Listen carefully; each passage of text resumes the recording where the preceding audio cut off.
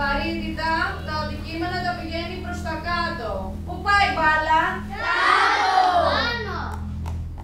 Ποιος το είπε αυτό; Γαρίφαλε, Ναι.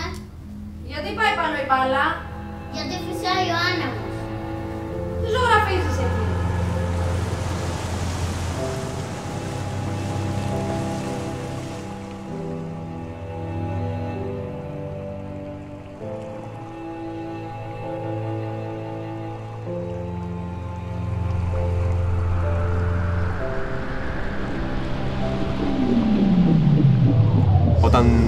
Έχει αέρα και πλανάρεις και η ταχύτητα που αποκτάς είναι η καλύτερη αίσθηση. Ξεκούραση, ψυχική ξεκούραση. Ένα άθλημα το οποίο προσδίδει στα παιδιά πάρα πολλές αρετές. Η κοντινή επαφή με τα στοιχεία της φύσης είναι πραγματικά μοναδικό. Πρέπει να αγαπήσεις τη θάλασσα και να σε αγαπήσει και αυτή, να τη σέβεσαι, να τη σέβεσαι πριν από όλα. Είμαστε σε μια χώρα μαγική για ιστιοπλοεία, στην καταλληλότερη χώρα για ιστιοπλοεία και ο Έλληνας δεν κάνει Συνδυάζει την τεχνολογία με την αεροδυναμική, την αεροδυναμική. Την εξέλιξη.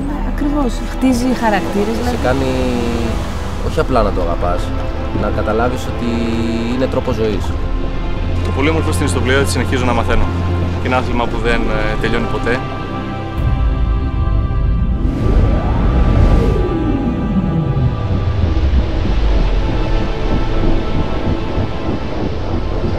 Έχουν προοδεύσει τώρα γιατί με τους ε, προπονητάς και με την ε, θέληση που έχουν όλα τα παιδιά βλέπω να πούμε μεγάλη άνοδος.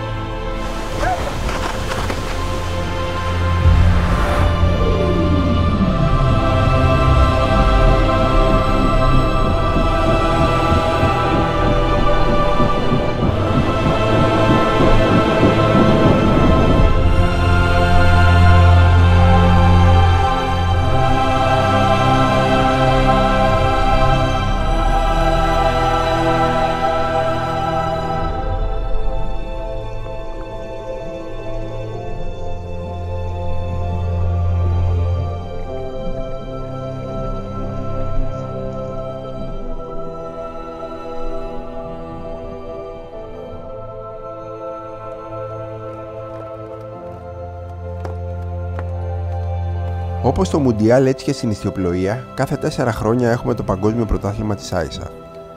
Είναι και η μεγαλύτερη ιστιοπλοϊκή γιορτή.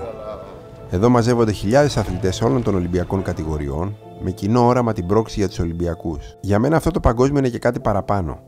Είναι μια αφορμή συνάντησης με τους συναθλητές μου. Έχω ένα κουτί λουκούμια.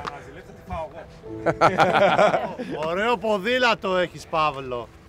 Σπάνια βρισκόμαστε όλοι μαζί. Ο καθένας ξεχωριστά έρχεται εδώ με τον δικό του αγώνα και σίγουρα έχει να μας διηγηθεί μια ιδιαίτερη ιστορία.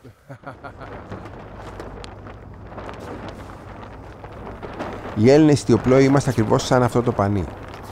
Ο άνεμος είναι ο καλύτερός μας φίλος. Χωρίς την παρέα του δεν θα υπήρχαμε. Στη θάλασσα ζωντάνεψαν οι μύθοι που μας λέγανε στο σχολείο και εμείς γίναμε ήρωες. Τα λόγια του προπονητή μου ήταν απλά. Αυτό που φαίνεται βουνό το έκανε να μοιάζει εύκολο. Με τον καιρό ήταν σαν να αποκρούσα πολλά μάτια. Μάτια που βλέπουν τον αέρα. Μάτια που βλέπουν τα κύματα, όχι σαν εμπόδια, αλλά σαν τσουλήθρες. Με φίλο τον άνεμο γίναμε κατακτητές ονείρων και μάθαμε να αφήνουμε πίσω όλους τους κύκλοπες και τους οργισμένους Ποσειδώνες που μας πολιορκούσαν πάντα στην ξηρά. Και σήμερα συνεχίζουμε να ονειρευόμαστε για τους Ολυμπιακούς Ουρίου. Θέλουμε να τους κερδίσουμε. Η θάλασσα είναι η έμπνευσή μας. Έτσι γράφω για να συνεχίσω να ονειρεύομαι.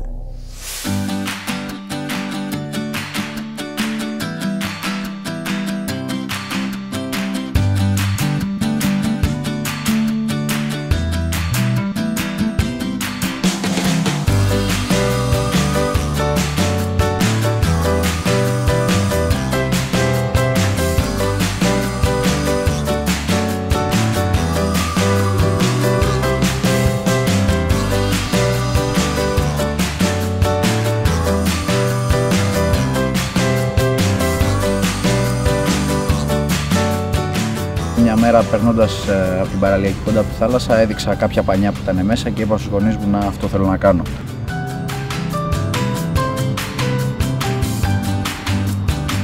Ζήλευα απίστευτα τα αδέρφια μου που μπορούσαν και μπαίνανε μέσα στη θάλασσα με τα σκαφάκια. Ξεκίνησε πρώτα από ένας ξάδερφος, μετά ο αδερφός, μετά εγώ και ξαφνικά έγινε οικογενειακή υπόθεση. Βρισκόμαστε σε καταστάσει του Ναυτικού Ομίλου Ελλάδος, όπου εδώ φιλοξενείται το σκάφος που κέρδισε ο Τέος Βασιλιάς το χρυσό μετάλλιο στους Ολυμπιακούς Αγώνες της Ρώμης. Το άθλημα είναι άθλημα Ολυμπιονικών. Στόχος μας είναι οι Ολυμπιακοί Αγώνες, ένα μετάλλιο στους Ολυμπιακούς Αγώνες. Πολλές φορές πιστεύω ότι όταν είμαι στη ξηρά δεν αναπνέω. Με το που θα ανέβω πάνω στο σκάφος, ε, αναπνέω. Εγώ είμαι από το 58 ηθοποιός.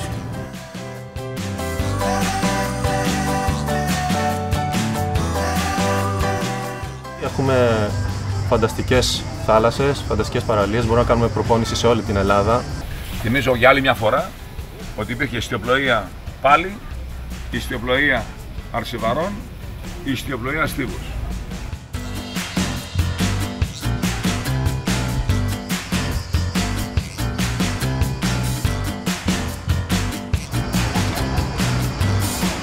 Γεια σου, Αντώνη. Ποιος Αντώνης είναι αυτός ο Μπουγιουρής.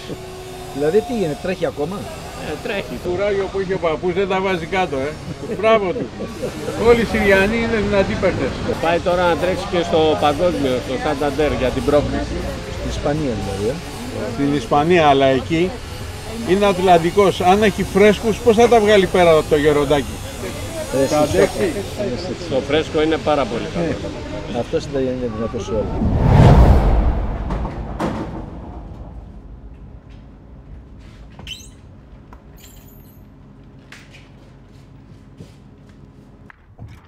Εσείς είστε καλός. Ε, καλός είμαι. Κάτι έχω κάνει κι εγώ. Έχω πάρει μερικά παγκόσμια πρωταθλήματα. Έχεις κάνει ποτέ ιστιοπλοεία. Όχι, δεν με αφήνει η μαμά μου. Αλλά έχω, έχω και κάτι φίλους όμως Ολυμπιονίκες. Πρέπει να σου γνωρίσω. Wow, πού είναι όλοι; Πού είναι όλοι, πού αλλού είναι να είναι. Στη θάλασσα είναι. Έχουμε το παγκόσμιο πρωτάθλημα τώρα και έχω αργήσει κι εγώ. Θα σου έλεγα πολλά για αυτούς, αλλά αν θέλεις έλα αύριο να σου πω. Να έχω λίγο χρόνο. Δεν μπορώ, γιατί η μαμά μου δεν θα με ξαναφέρει εδώ. Εγώ μπορώ να βγω παγκόσμιος πρωταθλητής. Τι κάνεις εκεί; Φυσικά και μπορεί να γίνεις πρωταθλητής μικρούλη, αλλά πρώτα ξέρεις τι, πρέπει να γίνει δυνατός εδώ. Αν γίνει δυνατός εδώ, όλα θα έρθουν μόνα τους. Τι κάνεις εκεί, έλα εδώ. Μαμά, μπορώ να βγω παγκόσμιος πρωταθλητής. Τι πράγμα. Ο κύριος Δεν το μου είπε πω μικρούλι. μπορώ να βγω παγκόσμιος πρωταθλητής. Ναι καλά, ο πρωταθλητισμός είναι κακό πράγμα, γεμάτο ουσίες και δεκανίκια. Τι λέει μωρέ; Κυρία μου, τι λέτε και σας ακούει και ο κόσμος; Συγγνώμη. Στην ισιοπλαία το μοναδικό βοήθημα είναι ο άνεμος. Ο άνεμος και τίποτα άλλο. Τώρα ο μικρός ξέρει τι σημαίνει ισιοπλαία και αυτό είναι μια καλή αρχή. Πού να ερχότανε μαζί και στην προπόνηση να μαζί που προετοιμαζόμαστε για το παγκόσμιο πρωτάθλημα. Θα ενθουσιαζόταν ο μικρός. Είναι γεγονός ότι οι περισσότεροι γονείς δεν δεν γνωρίζουν για το άθλημα της ισιοπλοείας. Το πιο αγνό και καθαρό άθλημα. Είναι αξιοσημείωτο ότι στους Ολυμπιακούς Αγώνες 2004 Έλληνες στιοπλόοι αθλητές άναψαν και έσβησαν την Ολυμπιακή φλόγα. Αυτό πιστεύω δεν είναι καθόλου τυχαίο. Καλά θα ήταν να μιλούσε κάποιος για την ομάδα μας. Θα ήταν ωραίο ένα βιβλίο. Οι μυθικοί Έλληνες στιοπλόοι. Ή μάλλον η μεγάλη των Ελλήνων ιστιοπλών σχολή. Μπα. Ίσως τα παιδιά του ανέμου. Μμ, ίσως.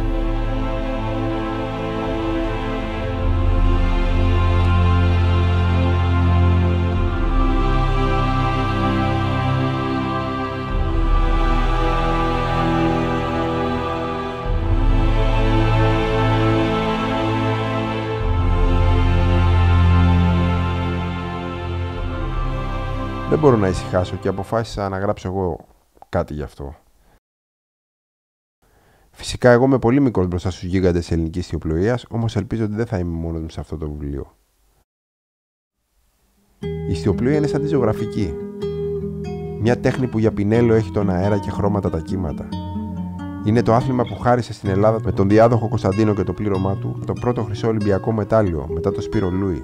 Ο κύριος Εσχιτζόγλου, μέλος του πληρώματος αυτού, Καθημερινά συμπαραστέκεται στη σημερινή μας ομάδα με την παρουσία του. Είναι ο χρυσός παππούς μας, η ψυχή της ομάδας μας.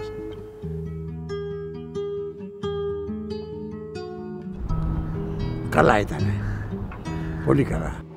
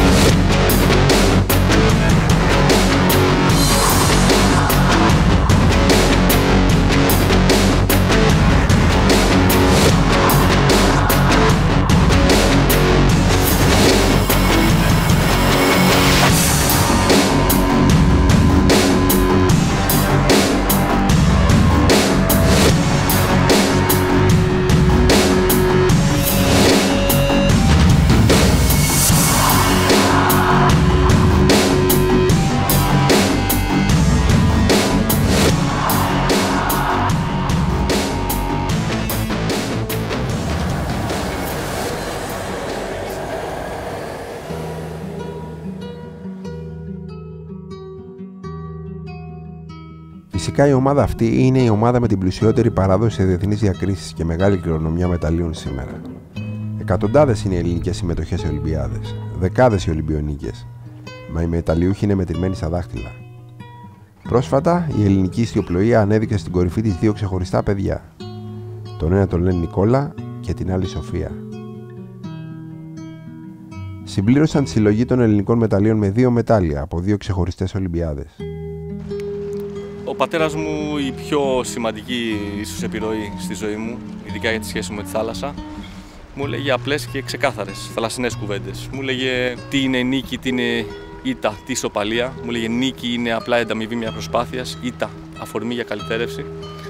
Και εγώ ως παιδάκι όταν με ρωτούσε ισοπαλία δεν ήξερα πραγματικά τι να πω. Μου λέει θα κοιτάσει τον αντίπαλό στα μάτια και θα του λες δεν περιμένω να γίνεις χειρότερος, μα θα προσπαθήσω εγώ να γίνω καλύτερος. Απλές κουβέντες αληθινές που με οδήγησαν στην υπόλοιπη μου ζωή.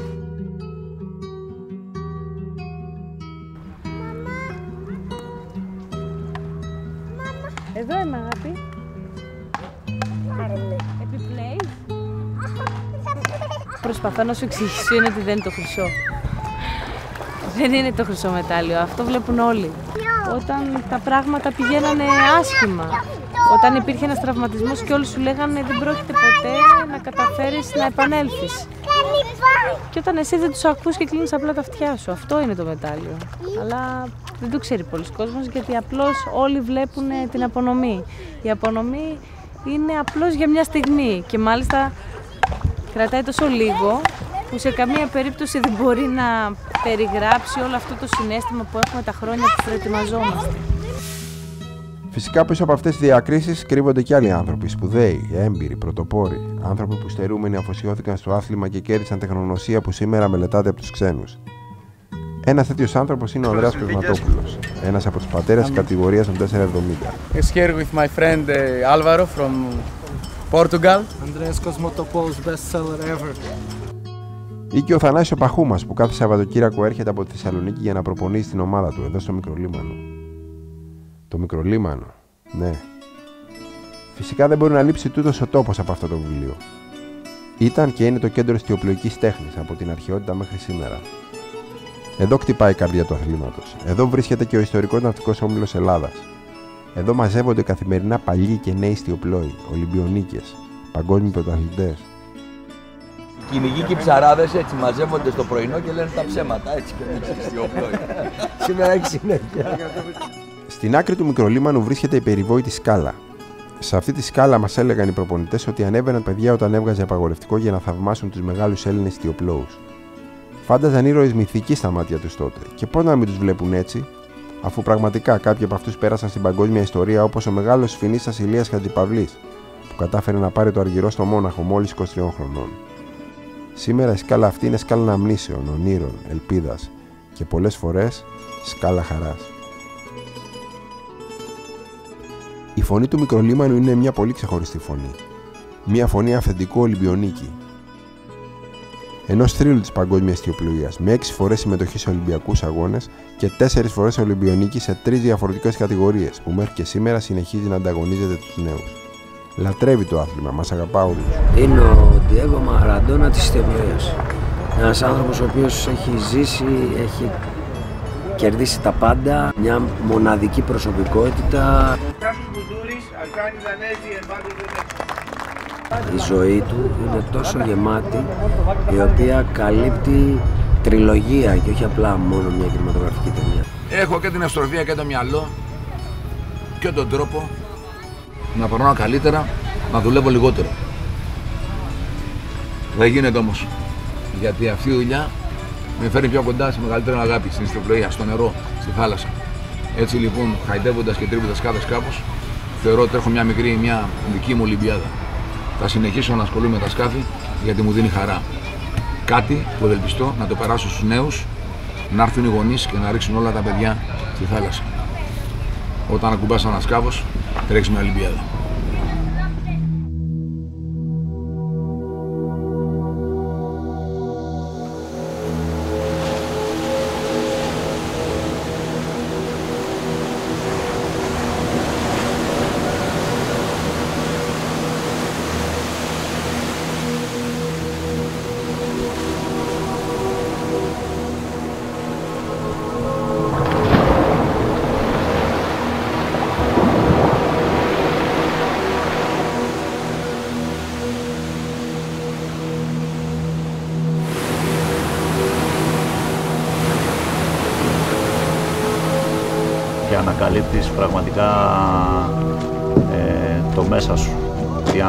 Άνθρωπος είσαι, πώς αντιδράς σε ευχάριστες στιγμές, πώς αντιδράς σε δύσκολες στιγμές.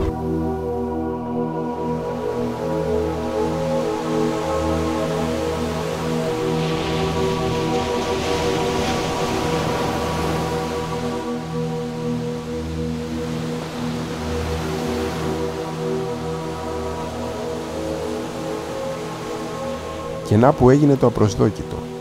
Κατά τη διάρκεια της προπόνησης του ελληνικού πληρώματος εμφανίστηκε η Ολλανδική ομάδα. Ήρθανε στην Ελλάδα για τις συνθήκες προπόνησης μα και γιατί ο προπονητής τους είναι Έλληνας, ο Ηλίας Μιλωνάς. Όπως λέει ο ίδιος, αναγκάστηκε να αυτοεξοριστεί δυστυχώς από την Ελλάδα. Σήμερα έχει αναλυθεί σε έναν από τους κορυφαίους προπονητές στον κόσμο στην κατηγορία των 470. Ο Ηλίας πριν φύγει από την Ελλάδα ήταν ο προπονητής της Σοφίας Μπεκατόρου και της Εμιλίας Σουλφά όταν το 2004 πήραν το χρυσό μετάλλιο. Αξίζει να γράψω για τις ηρωικές προπονήσεις τους όπως μου τις περιέγραφε. Η Σοφία βέβαια και η Εμιλία μπορώ να πω ότι πέρα από το ότι ήταν ευφύς διοπλόοι και είχαν τα παραπάνω στοιχεία ήταν και πολύ συνεπείς, ήταν στρατιώτες. Δηλαδή για, για αυτές τις κοπέλες η μέρα ξεκινούσε από τις 6.30 το πρωί και τελείωνε στις 10 το βράδυ. Μιλάμε για προγράμματα που δεν είναι δυνατόν να τα κάνουν άλλοι αθλητές. Μιλάμε για πολύ σκληρή δουλειά. Ακριβώς για το λόγο ότι είχαν πάθος και θέλαν να φτάσουν στο μετάλλιο και ίσως δεν, είχαν, δεν είχαμε τις γνώσεις και την εμπειρία που χρειαζόταν. Ούτε μπορούσαμε να κοντραριστούμε με τους ξένους στον τομέα αυτό. Ε, κάνανε πολλές ώρες προπόνηση. Δηλαδή δεν υπήρχε ρολόι στη θάλασσα. Ε, θυμάμαι, βλέπαμε τη διάρκεια της προπόνησης με την πορεία του ήλιου. Έτσι. Και μπορώ να σου πω ότι κάνανε τόσες ώρες που μέσα σε δύο μέρες την εβδομάδα ε, βγάζανε τις ίδιες ώρες που, βγάζει, που έβγαζε ένας ξένος αθλητής σε μια ολόκληρη εβδομάδα. Έτσι κατάφερναν ε, να αποκτούν εξοικείωση. Ξέρεις, ο άνεμος είναι αόρατος, ε. δεν μπορείς να τον δεις, μπορείς να τον αισθανθείς ίσως. Και το κύμα, οι στιοπλόοι το βλέπουν σαν εμπόδιο, ότι τους ε, κόβει την πορεία τους σκάφους.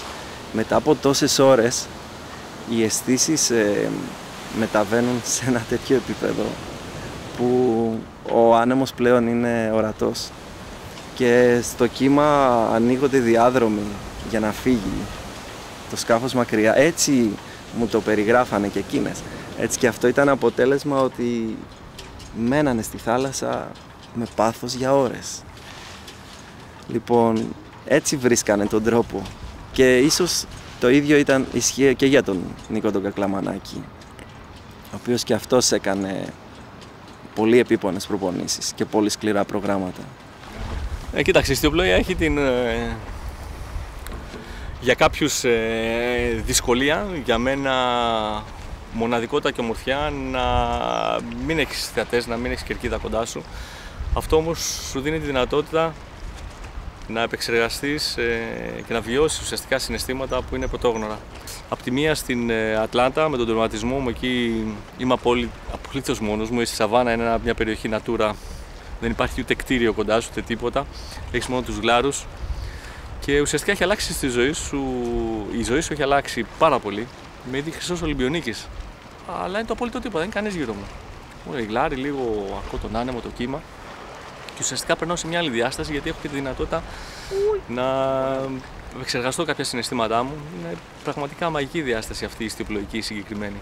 Όμως στον αντίποδα βρέθηκα μέσα στο κατάμεστο Ολυμπιακό στάδιο της Αθήνας το 2004 ως τελευταίος λαμπαδιδρόμος, τη μοναδική τιμή άλλωστε, να ανάβω τελικά το βωμό μπροστά σε δισεκατομμύρια τηλεθεατών από τηλεοράσεις ανά τον κόσμο.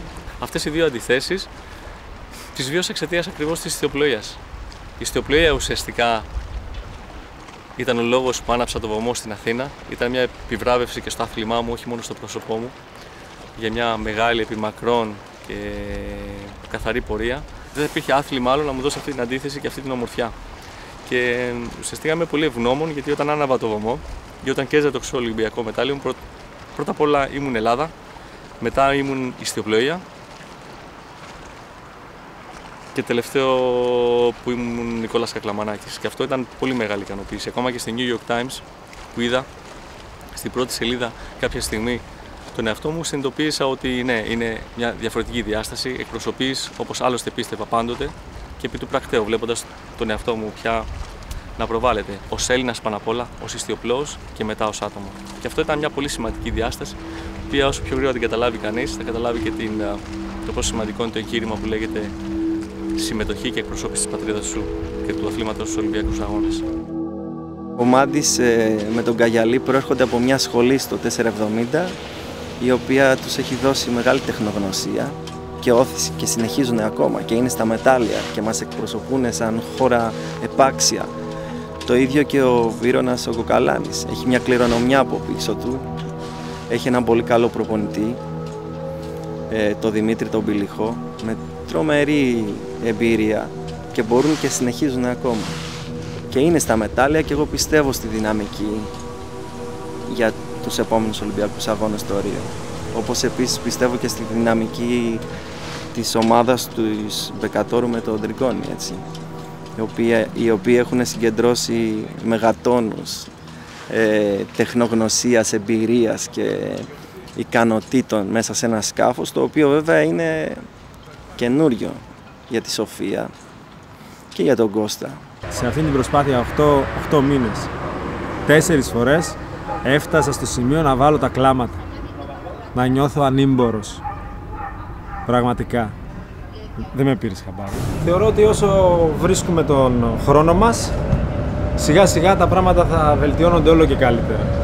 Θα πηγαίνουν όλο και καλύτερα. Είναι καθαρά θέμα χρόνου. Η Σοφία με τον Κώστα είναι ήδη στο Σανταντέρ για το παγκόσμιο πρωτάθλημα. Αυτό το παγκόσμιο είναι το κλειδί για την πρόκλησή μας στους επόμενους Ολυμπιακούς. Αν δεν τα καταφέρουμε φέτος, του χρόνου θα είναι δύο φορές πιο δύσκολα, γιατί ο χρόνος τελειώνει και η δυσκολία μας συνεχώς μεγαλώνει.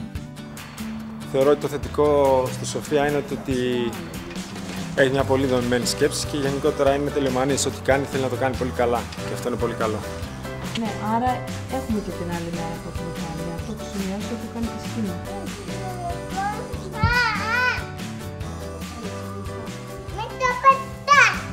Εδώ σ' αρέσει; Όχι, δεν μου αρέσει εδώ. Γενικά δεν είναι εύκολη η κατάσταση με τα παιδιά στους αγώνες, ε, αλλά ούτε όταν λείπουμε από το σπίτι. Δηλαδή πάντα ζητάνε περισσότερο χρόνο, δεν θέλουν να φεύγουν, θέλουν να μένω σπίτι μαζί τους. Ε, κάποια στιγμή όταν ένιωθα ότι ψυχολογικά δεν μπορούσα να το σηκώσω αυτό το βάρος, ε, κάθισα και μίλησα στο μεγαλύτερο, τον Δημήτρη, και του εξήγησα ότι η Μανούλα για να είναι ευτυχισμένη θέλει να κάνει αγώνες. Θέλει να κάνει αυτό το πράγμα, πιστεύει σε αυτό, πιστεύει ότι μπορεί να βοηθήσει να εμπνεύσει και άλλα παιδιά να έρθουν στον αθλητισμό, να εμπνεύσει και άλλους γονείς ε, και μου είπε εντάξει μαμά, άμα είσαι ευτυχισμένη να πας. Και ως διαμαγείας ε, άλλαξε η στάση εντελώς.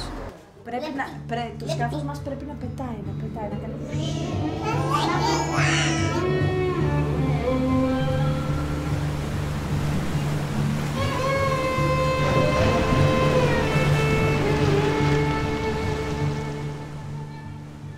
κατηγορία Νάκρα είναι η πιο φρέσκια Ολυμπιακή κατηγορία που θα συμπεριληφθεί για πρώτη φορά στο Ρίο de Janeiro το 2016. Ένα από τα βασικά χαρακτηριστικά αυτού τους σκάφους είναι ότι είναι extreme, δηλαδή δεν το έχω ξαναζήσει αυτό στην ιστιοπλοεία. Δεν είχα νιώσει ποτέ το φόβο, ούτε είχα νιώσει να μην ξέρω τι θα μου συμβεί. Είναι πρωτόγνωρα συναισθήματα τα οποία μας αρέσουν πολύ και θεωρούμε πρόκληση να ξεπεράσουμε τα όρια μας. Ε, όταν κάνουμε σούζα με το σκάφος, προσπαθούμε πλέον να ξέρουμε πώς θα το προσγειώσουμε με ασφάλεια και πώς θα συνεχίσουμε κανονικά μες στον αγώνα, γιατί το σκάφος εκτινάσεται στον αέρα. Εκτός από την κατηγορία Νάκρα, στο Παγκόσμιο Πρωτάθλημα του Σανταντέρ θα συμμετέχουν οι εξής. Ο Μητάκης Ιωάννης στην κατηγορία των Φιν. Το Φιν σχεδιάστηκε από τον Ρίτσαν Σάρμπι για τους Ολυμπιακούς Αγώνες του Ελσίνκη και έκτοτε είναι σε κάθε Ολυμπιάδα μέχρι και σήμερα. Απευθύνεται κυρίως σε πιο σωματώδεις αθλητές, καθώς είναι η μόνη κατηγορία μέχρι σήμερα που είναι heavyweight.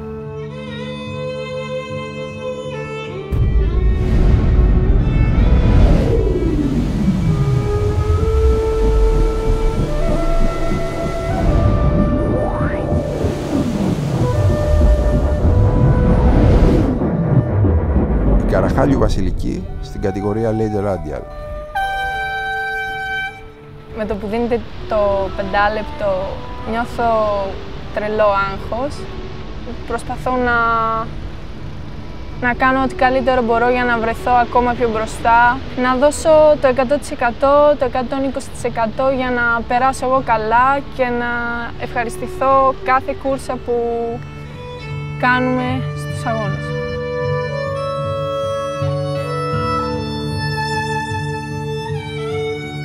Ο Στέλιος Σωτηρίου και το πλήρωμά του στην κατηγορία των 49er. Ένας αγώνας 49er κρατάει 30 λεπτά. Το σκάφος είναι από τα πιο γρήγορα της Ολυμπιακής κατηγορίας.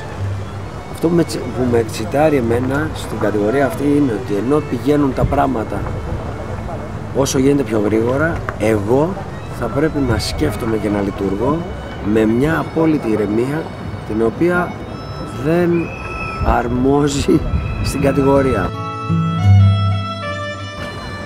Το πλεονέκτημα που έχει η Ελλάδα και δεν το έχει κα- σχεδόν κανένα άλλο μέρος του κόσμου είναι ότι μπορείς να κάνεις προπόνηση 365 μέρες το χρόνο. Ένα προσόν το οποίο δεν το έχουν οι άλλες χώρες. Χωρίς ρεύματα, χωρίς κρύα, χωρίς ε, κινδύνους, να πεις ότι έχουμε κάποια, κάποιους τυφώνες ή ότι έχουμε ψάρια τα οποία μπορούν να μας να κινδυνεύσεις. Είμαστε η χώρα ευλογημένη με κλιματολογικές συνθήκες που δεν υπάρχουν πουθενά άλλο στον κόσμο. Η Τζέλη Σκαρλάτου στην κατηγορία RSX γυναικών. Ας πούμε, η θάλασσα και η φωτιά είναι δύο στοιχεία που έχουν την ικανότητα να σε κρατάνε στο τώρα. Δεν ασχολείσαι με το τι θα γίνει αύριο, με το μέλλον, δεν ασχολείσαι με το παρελθόν, είσαι εκείνη τη στιγμή. Και όταν είσαι μέσα στη στιγμή, πιστεύω αυτό είναι απόλυτη ευτυχία.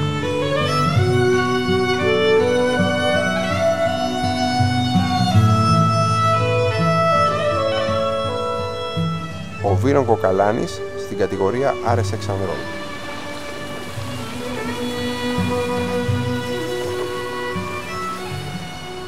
Μεγαλώνοντας ο Βίρονας και κάνοντας διακρίσεις είχα διπλό έργο με το σκεπτικό ότι ο Βίρονας έχει και μια ιδιαιτερότητα, έχει χάσει τον πατέρα του στην ηλικία των 11 χρονών. Άμα με ρωτήσει κάποιος τι ξεχωρίζω στο Βίρονα σαν αθλητή, σε αυτό το επίπεδο είναι η ψυχραιμία που επιδεικνύει κάθε φορά που βρίσκεται με την πλάτη στον τοίχο και μπορεί και ανταπεξέρχεται όταν γίνεται στραβή. Γιατί στην ιστιοπλοεία οι αγώνες διαρκούν 6 ημέρες και σαφέστατα πρέπει να είσαι focus και συγκεντρωμένος για μια μεγάλη χρονική περίοδο. Δεν είναι μια κούρσα 100 μέτρων, αλλά είναι μια, ένας μαραθώνιος ουσιαστικά 6 ημερών. Η Δήμητρα Παγίδα μαζί με την Αλίνα Στρατηγίου στην κατηγορία 470 γυναικών. Στην κατηγορία των 470 στους άντρες έχουμε δύο ιδιαίτερες ομάδες. Το επίπεδο τους είναι αξιοζήλευτο παγκοσμίως. So Panagiotis uh, and Stathis, Greece 165, as well as uh, Takis and Pavlos, Greece 1, two really top 470 teams that uh, we've spent a little bit of time with on the water and they've helped raise our level a lot. Uh, that's been nice to, to get that practice in and through a range of conditions while, uh, while we've been here. And that's been uh, really good for our training. Plus, we've been working with uh, Greek coach Makis, uh, who's been awesome for helping us learn the 470 and get into our, our full-time campaign for, for 2016. Το αβαντάζ τους είναι τεράστιο σε σχέση με εμάς. Ε, τώρα το πώς καταφέρουμε και φέρνουμε τα αποτελέσματα τα οποία φέρνουμε πραγματικά δεν το ξέρω, αλλά την άλλη δεν είναι και δικαιολογία για να συνεχιστεί αυτή η κατάσταση. Ο Παναγιώτης για παράδειγμα είναι ο μεγαλύτερος του πληρώματος, κάνει τρεις δουλειές για να καταφέρει να κάνει τον αθλητισμό. Εγώ αντίστοιχα για να μπορώ να τους προπονώ κάνω κάποιες άλλες συνεργασίες που έχω για να μπορώ να επιβιώνω και να τους προπονώ στο επίπεδο το οποίο βρίσκονται. Σε αυτό το σημείο προκύπτουν πολλά ερωτήματα. Πώς μπορεί να είναι το αβαντάζ των ξένων τόσο τεράστιο σε σχέση με το δικό μας εφόσον είμαστε ιδανική χώρα για αισιοπλοεία, ή γιατί να έχει αυτοξοριστεί ένας Έλληνας προπονητής που σήμερα είναι από τους πολυτιμότερου στον κόσμο; Γιατί ένας αθλητής που διεκδικεί Ολυμπιακό τίτλο θα πρέπει να δουλεύει χάνοντας χρόνο από την προπόνησή του; Και από την άλλη μεριά, πώς καταφέρνει αυτός ο αθλητής να πρωταγωνιστεί διεθνώς κάτω από αυτές τις συνθήκες; Οι απαντήσεις βρίσκονται μέσα στη θάλασσα. Μέσα στη θάλασσα, στα πιο βαθιά νερά. Θα πεις δύο κουβέντες που είσαι και Έλληνα-Ολλανδέζα. Ε, έφυγα λόγω οικογενειακών καταστάσεων. Η μητέρα μου έμενε στην Ολλανδία. Και όταν άρχισα στη πλοία εκεί, φυσικά είδα ότι οι συνθήκες είναι, ε, θα έλεγα, με αυτό που έχουμε συνηθίσει στην Ελλάδα, ιδανικές. Ε, υπάρχει ε, ε, στήριξη, ε, υπάρχει καλή επικοινωνία με την Ομοσπονδία, έχουμε ένα καλό πρόγραμμα και ένα καλό team γύρω μας με ανθρώπους που μας βοηθάνε όπως οι φυσιοθεραπευτές, οι γυμναστές, οι διατροφολόγοι, κάτι που στην Ελλάδα ε, πρέπει να ε, κανονίσεις ουσιαστικά μόνος σου. Είναι τρομερό. Αυτό βέβαια είναι η προϋπόθεση για τους ξένους να φέρνουν επιτυχίες και μετάλλια. Ε, ενώ ας πούμε σε μια ανάλογη περίπτωση ένας ξένος αθλητής εάν του λείπει αυτή η οργάνωση δεν μπορεί ούτε καν να ξεκινήσει να, να μπει μέσα στο σκάφος. Uh, yeah, so I have a Greek coach, but this is it's a good thing. It's different from Dutch coaches. They're a bit more soft compared with the Greek coaches, I think. Yeah, Ilias had us a lot of 470 knowledge, um, which um, the Dutch coaches have a bit less probably, so he can help us a lot with the 470 specific things. Um, yeah, and also mentally, he's helping us a lot. Or I'm used to have a bit more on the mentally aspect, and we bring in experts. Uh, and Ilias is a bit more of both, so he's mentally and technical technical coach. So, uh, which is very good because he can make us fast, and uh, that's very important, I think, when you're sailing. Βέβαια, από την άλλη μεριά, Το να έχεις δει πώς είναι αυτό που δεν έχεις σε κάνει πιο σκληρό. Ε, υπάρχει τάση στην Ολλανδία οι αθλητές να καλομαθαίνονται, να το πούμε έτσι. Αλλά ο Ηλίας ε, ε, βοηθάει στο να μας κρατήσει στο έδαφος και να συνεχίσουμε με σκληρή προπόνηση να ζητάμε το 100%. Γενικότερα οι πρωταθλητές δεν δημιουργούνται στα γυμναστήρια, οι υπερπρωταθλητές μάλλον, δημιουργούνται από ένα όραμα, από ένα πιστεύω. Πρέπει η ικανότητά τους, η οποία βρίσκεται πάντοτε εκεί και τους συνοδεύει, να ξεπερνιέται από τη θέλησή τους. Ο Νικόλας Κακλαμανάκη είναι από τα πιο λαμπρά παραδείγματα στον κόσμο που ουσιαστικά μόνο του έφτασε στην κορυφή. Δεν θα ξεχάσω ποτέ ότι βρέθηκα στην άλλη άκρη της γης πολλές φορές χωρίς να έχω φυσιοθεραπευτή για παράδειγμα, ενώ ήμουν ήδη σε κορυφαία κατάσταση και πρώτος στο παγκόσμιο. Και με είχε περιθάλψει για παράδειγμα μια φορά μετά από ένα τραυματισμό μου στην, ε, στον νόμο και μια άλλη φορά στο πόδι στην άλλη άκρη της γης ένας ε, Γάλλος φυσιοθεραπευτής που μου λέγε Ελά, νωρίς το πρωί, 7 και 30 να έχουμε τελειώσει, να μην σε δουν οι άλλοι οι συναθητέ σου οι Γάλλοι. Ήταν και η βασική μου αντίπαλη άλλωστε και πυκνά συχνά τους κέρδιζα άλλωστε και σε παγκόσμιο και σε ολυμπιακό επίπεδο. Αυτή ήταν μία από τις εμπειρίες μου. Υπήρχαν άλλες φορές στις οποίες είχα βρεθεί να κοιμάμαι κάτω από ένα καταμαράν βράδυ. Η πρώτη μου διεθνή συμμετοχή ήταν αυτή, το 86. Ε, φτάνουμε εκεί, λέμε η Ομοσπονδία μας έκλεισε να μείνουμε 11 το βράδυ στο Κύλο στην ε, Βόρεια Γερμανία περίπου 5 βαθμοί, σχεδόν χιονόνερο τη νύχτα. Δεν είχαμε πουθενά να κοιμηθούμε. Εγώ και ο συναθλητή μου Στέλιος ο Γεωργουσόπουλος τελικά κοιμηθήκαμε. Τυλίξαμε τα πανιά μας, που εγώ δεν ήθελα να μου τσακίσει το πανί, δεν ήθελα να μου το αγγίξεις. Πήρα το πανί μου, το τύλιξα γύρω από τον εαυτό μου, μπήκα κάτω από ένα χομπικάτ, έτρεμα και εγώ το βράδυ, το θυμάμαι χαρακτηριστικά δίπλα μου να τρέμει και ήταν η πρώτη μου εμπειρία από αγώνα στο εξωτερικό. Κοιμήθηκα κάτω στο χόρτο σε οριακές συνθήκες 0 με 5 βαθμούς και χιονόνερο στη Βόρεια Γερμανία. Έφτασα σε σημείο να με πολεμήσουν. Είχα ήδη ένα χρυσό μετάλλιο, δύο ε, χρυσά παγκόσμια. Και όμως έφτασα να κάνω προετοιμασία με δύο μπράβους κοντά μου, οι οποίοι με προστάτευσαν σε κάποια περίοδο που δέχτηκα απειλές, επειδή είχα πει το αυτονόητο. Ότι ο αθλητισμός είναι υπόθεση των αθλητών και όχι των πολιτικών και ότι πρέπει να υπάρχει διαφάνεια σε όλες τις διαδικασίες. Πάντοτε σε αυτές τις δύσκολες στιγμές είχα κοντά μου την οικογένειά μου την ομογένεια απαντοχού της γης και κυρίως ε, λόγια του πατέρα μου, σκέψεις, μετέφερε τη δύναμή του πάντοτε Μου λέγε Νικόλα Άστος αυτός.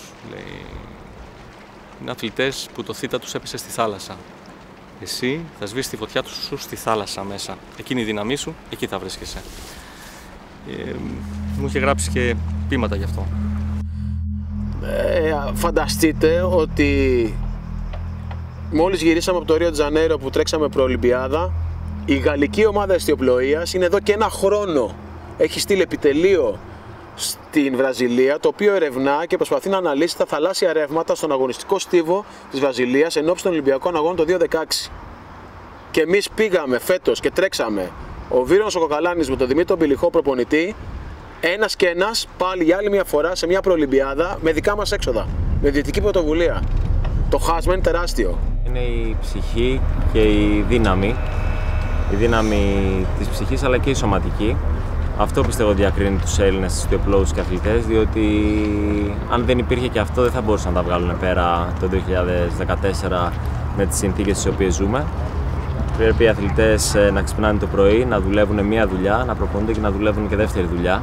Για να μπορούν ε, όχι απλά να ζουν, να καλύπτουν και την ίδια τους την καμπάνια και την ίδια τους την προετοιμασία. Ε, ακόμα και τους ίδιους τους αγώνες. Η υπερδύναμη αυτή τη στιγμή στην Ιστιοσανίδα είναι οι Πολωνοί. Ποιοι; Οι Πολωνοί. Οι οποίοι κάνουν 6 μήνες το χρόνο στην Ερυθρά Θάλασσα προπόνηση γιατί είναι παγοδρόμιο η θάλασσα, η βόρεια θάλασσα στην Πολωνία το, από τον ε, Νοέμβριο μέχρι και τον Απρίλιο είναι, δεν μπορείς να προσεγγίσεις το νερό στην Πολωνία. Και αυτή τη στιγμή το, η τριάδα μέσα στον κόσμο έχει Πολωνό. Είναι μέσα στη δεκάδα τρεις Πολωνοί. Και στη, στην Ελλάδα που θα πρέπει να έχουμε 10 βύρονε έχουμε έναν.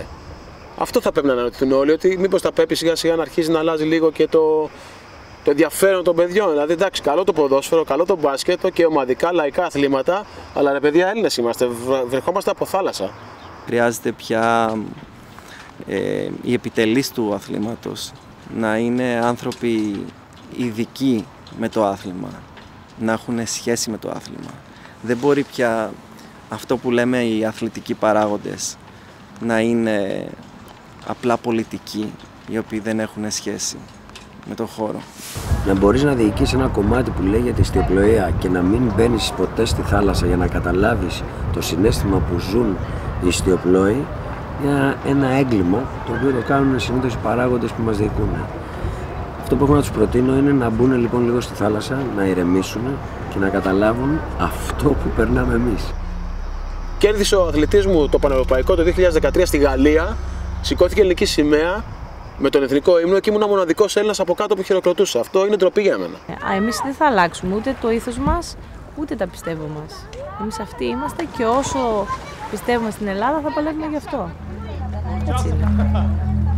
Ετοιμαζόμαστε για το Σανταντέρ. Η αλήθεια είναι ότι οι αντίπαλοι μας έχουν πάει δύο μήνες πριν και κάνουν προπόνηση. Εμείς θα πάμε δύο μέρες πριν. Ο πρωταθλητισμό στην Ελλάδα υπάρχει μόνο από την προσωπική τρέλα. Έτσι, δυσκολευόμαστε να κάνουμε την προετοιμασία μας όπως θα έπρεπε. Συνήθως γίνεται μισή, αναλωνόμαστε τόσο πολύ με το πώς θα βρούμε τρόπο να κάλυψουμε όλα αυτά τα έξοδα. Εγώ χρειάζεται να πηγαίνω στο, στο γραφείο και μετά να κάνω προπόνηση. Τελευταία φορά που κάλυψε ε, το κράτος την διοργάνωση, να πάρω σε εμάς προσωπικά που πρωταγωνιστούμε στον χώρο ήταν η Ολυμπιάδα.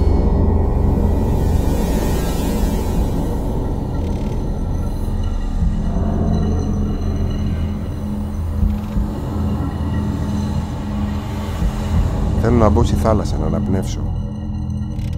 Να που τελικά ξύπνησε ο άγρος που συνδέμα της ψυχής μου. Να που τελικά ξύπνησε. Σε κάτι τέτοιες στιγμές θυμάμαι τη φίλη μου, τη Σοφία Σπυράτου που ζει μόνιμα στο νοσοκομείο. Όταν της είχα πει πως η ελληνική κατάσταση στην ηθιοπλοεία μοιάζει με σωματική αναπηρία, εκείνη μου απάντησε μέσω του υπολογιστή μια απάντηση που πάντα μου δίνει κουράγιο σε τέτοιες στιγμές. Η απολυτή ελευθερία που νιώθει ο ιστιοπλώος όταν ξανήγεται στο πέλαγος συναντά την δική μου ελευθερία όταν ταξιδεύω νοερά στον μαγικό κόσμο του πνεύματος καμιά σωματική αναπηρία. Δεν μπορεί να φυλακίσει την ψυχή όταν είναι γεμάτη από την παρουσία του Θεού και την αγάπη του. Ενώ αυτοί προσπαθούν να μειώσουν το άθλημα άθελά τους, από την άλλη μεριά βλέπεις με ελεηπή μέλη του σώματός τους άτομα να προσπαθούν καθημερινή βάση και έχουμε διακρίσεις. Καλό θα είναι οι παραπληγικοί και οι, αν θέλεις, οι στερημένοι άνθρωποι να αναλάβουν αυτή την ομοσπονδία. Διότι αυτοί κάνουν καλύτερη δουλειά από όλους. Στο κάτω-κάτω μας εμπνέουν, στο κάτω-κάτω μας δίνουν ε, ένα μήνυμα αισιοδοξίας για τη ζωή, ότι εγώ δεν έχω ή έχεις παραπάνω χέρια, πόδια, δεν ξέρω τι, και κινούμε καλύτερα από σένα. Και αυτό είναι το ρότερο μήνυμα που μπορεί να περάσει κανείς.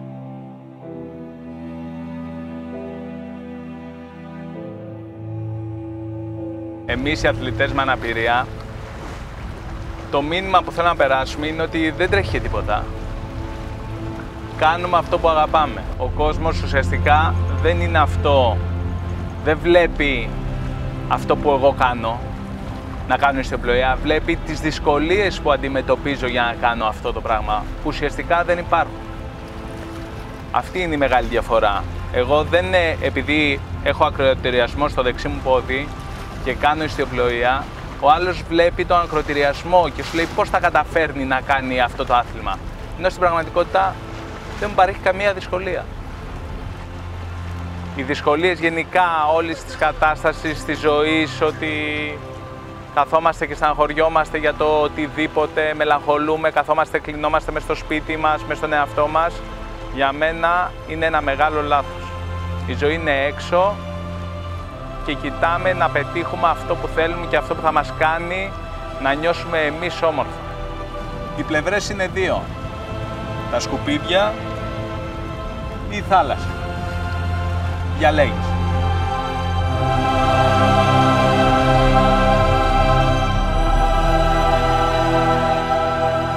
πάει μπάλα στην κατηφόρα, στη θάλασσα.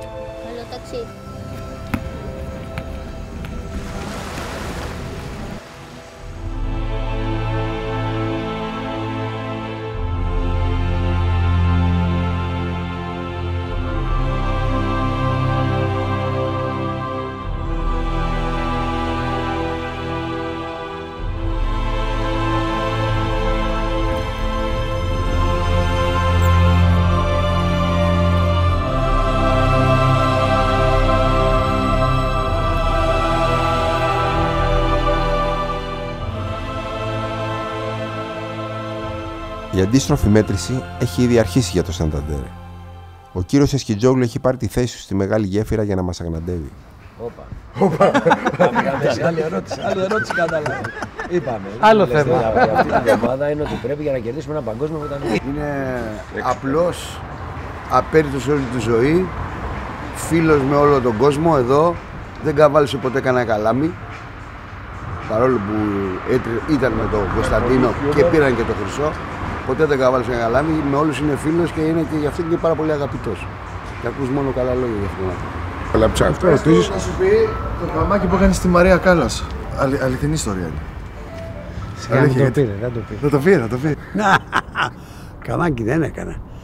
Στους Ολυμπιακούς Αγώνες και στο μέσο των Ολυμπιακών Αγώνων στη Ρώμη προσεφέρθη ο Νάσης που τότε τα, ήταν με την, ε, τα είχε με την Κάλλας να μας πάει μέχρι το Κάπρι όλη την ιστιοπλοϊκή ομάδα που ήταν εκεί και τους βασιλείς που ήταν κάτω στην, ε, στη Ρώμη. Και πραγματικά μας πήρε με τον Χριστίνα ο Νάσης, το, αυτό που είχε τότε, να μας πάει στην, ε, στο Κάπρι. Στον δρόμο που πηγαίναμε, ο Νάσης άνοιξε την πισίνα του σκάφους και κάθισε η κυρία Κάλλας να βάλει τα, τις, πώς το λένε, τα, τις αλυφές που βάζουν για να πέσει στην πισίνα. Πήγα κοντά της βεβαίως και της είπα κυρία Κάλλας ξέρετε τραγουδάω κι εγώ εκτός που τραγουδάτε εσείς τραγουδάω κι εγώ πολύ καλά. Μόνο όσοι είναι δίπλα στην πισίνα θα πέσουν μέσα από τη λαχτάρα που θα ακούσουν το τραγούδι μου. Και έπιασε τα γέλια. Τότε άκουσαν τα γέλια, λέω τι τις είπες μου λένε με τότε και ο διάδοχος και η πριγκίψης, λέω τις είπα αυτό το πράγμα. Και πιάσαν όλοι τα γέλια και γελάγανε με το ωραίο αστείο που υποτίθεται που είπα. Τίποτα άλλο δεν ήταν. Αυτά τα ωραία. Κάλλας πώς ήταν σαν χαρακτήρας; Πάρα πολύ καλή κυρία. Συμπαθέστατη, γλυκύτατη και μας, συμπε, μας ε, ενθάρρυνε όλους τους αθλητές να πάμε καλά και μας ε, έδωσε τις ευχές της. Να είναι πάρα πολύ γλυκιά. Ευχές. Τι πιο ωραίο κλείσιμο για το βιβλίο αυτό από τις ευχές των συναθλητών μου μαζί με αυτές της Μαρίας Κάλλας. Ίσως να κάνουν το χαρτί καράβι. Ίσως το καράβι αυτό να βρει λιμάνι στις καρδιές όσων μας διαβάζουν. Τα όνειρά μου είναι να,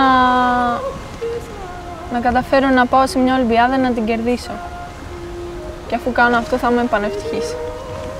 Θα θέλαμε πολύ να συμπληρώσουμε τη συλλογή μας με ένα Ολυμπιακό μετάλλιο που είναι και, το, και η πιο σημαντική διάκριση που μπορεί να έχει κάποιος αθλητής σε οποιοδήποτε άθλημα.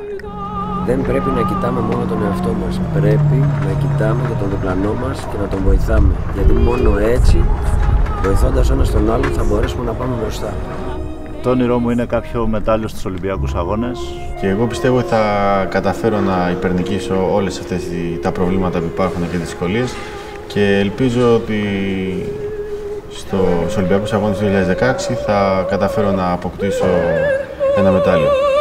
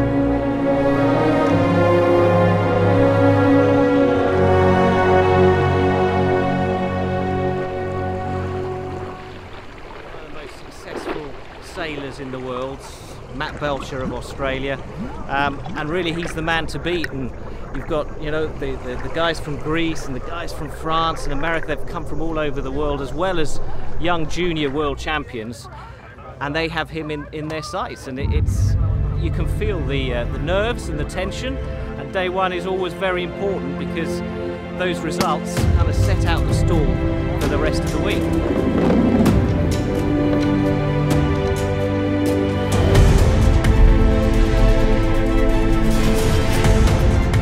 The King of Spain is here.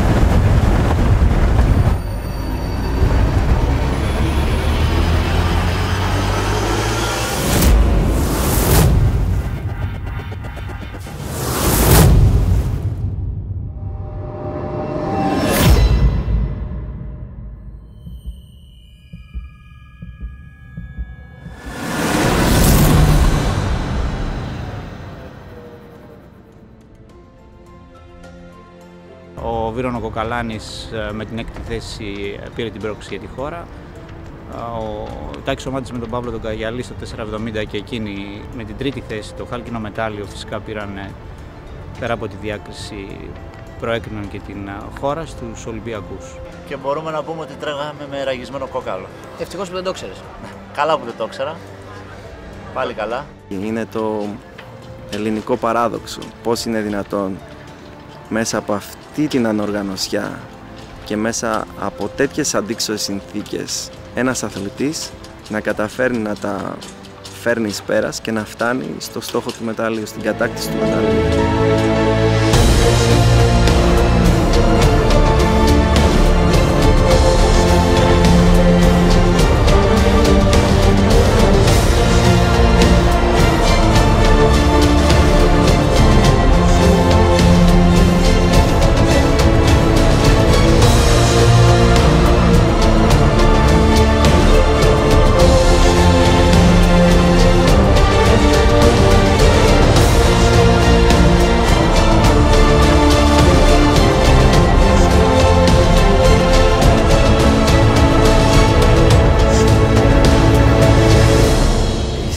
Ιστιοπλόοι Έλληνες θα υπάρχουν και θα συνεχίσουμε να έχουμε έτσι μεμονωμένα ε, αποτελέσματα καλά αλλά δεν είναι αυτό το όραμά μας. Το όραμά μας είναι η θέση της Ελλάδος να είναι κυρίαρχη ε, στο αγώνισμα αυτό, στο άθλημα αυτό, στο, σε ολόκληρο τον κόσμο, γιατί αυτή η θέση αρμόζει στη χώρα μας.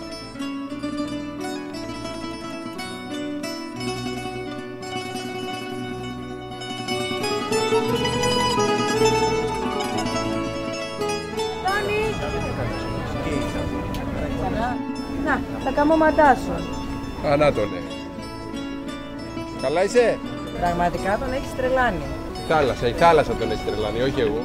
Βοηθάμε τα παιδιά ώστε να προχωρήσουν, να κάνουν ιστιοπλοεία, να αγαπήσουν αυτό το άθλημα και παραπέρα αρχίζουμε και παίρνουμε μέρος σε αγώνες. Η δύναμη της Ελλάδας ήταν και είναι στη θάλασσα από αρκετά των χρόνων. Λοιπόν, ε, και τα παιδιά στο Ρίο θα το αποδείξουν αυτό. Ο αγώνα τους αξίζει γιατί κρύβει δίκιο μέσα τους. Μια πατρίδα που θέλει, που ψάει όσο ποτέ για διάκριση.